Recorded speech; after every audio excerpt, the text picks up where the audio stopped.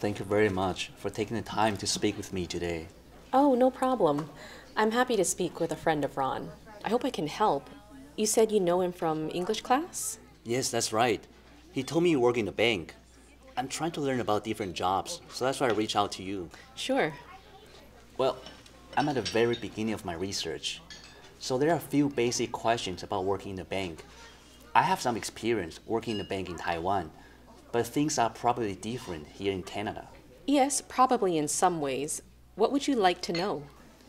Could you tell me how long you have worked in banking? I've worked in banking for almost 11 years. Time goes so fast, and I've been in my current role for five years. And what was your first job in banking? I started as a member services representative, sometimes called a teller. I worked in that position for three years, and then I became a manager. What do you enjoy about your work? I really like working with people. Some people think banking is all about numbers, but my job is also about building relationships with the customers and the staff.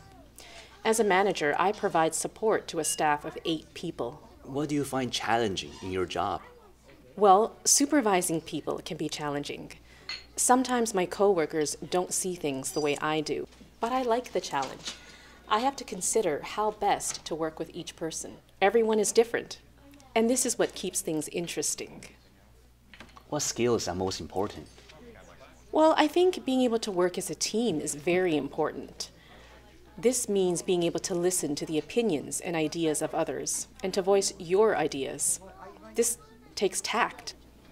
What do banks typically look for in new hires? That's a good question.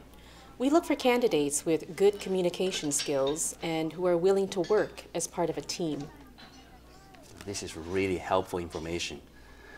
Do you think you could take a look at my resume and let me know what you think about it? Sure, I could do that. Thank you. Here,